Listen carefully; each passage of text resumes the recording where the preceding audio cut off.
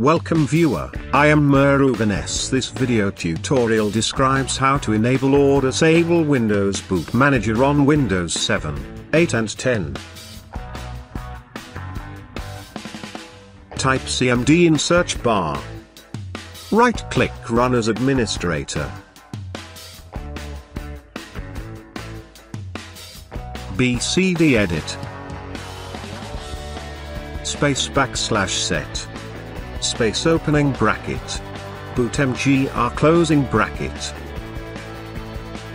Space display boot menu space no.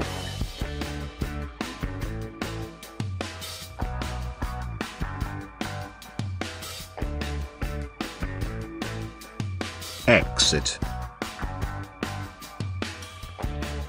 Restart your PC check boot manager is showing or not. Boot Manager is enabled.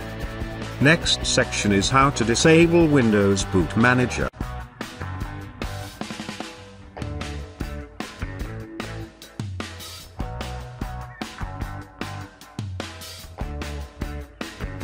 Type CMD in search bar. Right-click Run as Administrator.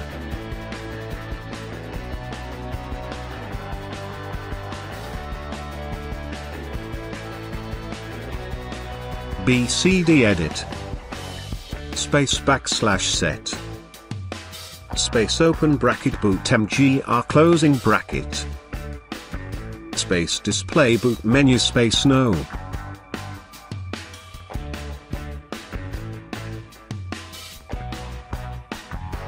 Exit.